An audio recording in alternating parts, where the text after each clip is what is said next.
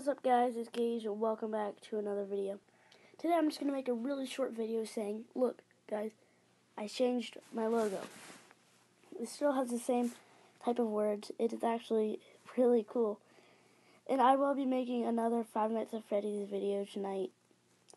Well anyway, that's all I wanted to say. I just wanted to say I made a new logo, so when you look me up or whatever you do, if you're not, if you don't get notified you look me up and you see that, it's me. So just saying. Alright, so good everyone.